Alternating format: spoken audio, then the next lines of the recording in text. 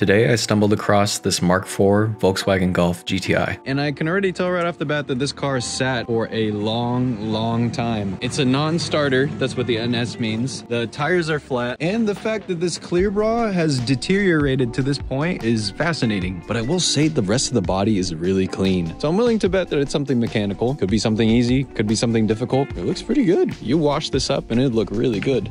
Doesn't even look like anybody sat in the back seats. I mean, what else do you want? Exposed fuse box? Scary. Whoever was driving this really liked the car. They also really liked uh, recreational activities.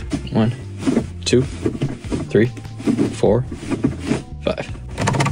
But I will say I'm a big fan of the VR6 engines. It's typically pretty expensive to do any sort of maintenance on these vehicles, but they're a ton of fun. Let me know what you guys think. Is it worth it? Check out my Patreon for more content.